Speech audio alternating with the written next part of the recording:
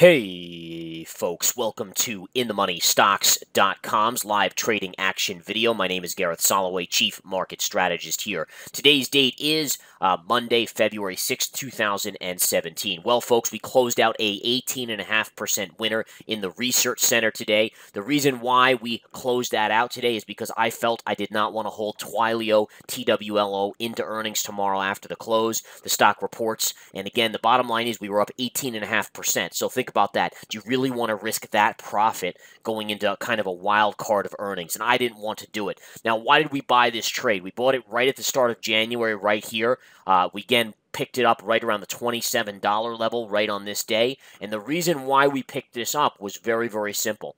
It was a sell into the end of the year play as people were tax loss kind of selling and therefore once January came, there was no more tax loss selling. So it was a very kind of obvious trade in that respect of how to trade it and utilize it to profit. So again, tax loss selling was over. We bought it right at the lows here in January and then held it and let it slowly go up into earnings, which again was very much expected on my part. And again, folks, this was a great trade. 18.5%. We held it for one month. Think about that. One month hold, 18.5%. A beautiful trade here. This is what it's all about. I encourage encourage you to come join the InTheMoneyStocks.com. Take the seven-day free trial to the Research Center. That's where I gave this trade out in the Research Center. And again, look at our track record so far in January. It is stellar. We just booked this one. It makes it even better. We are killing it, folks. Absolutely killing it.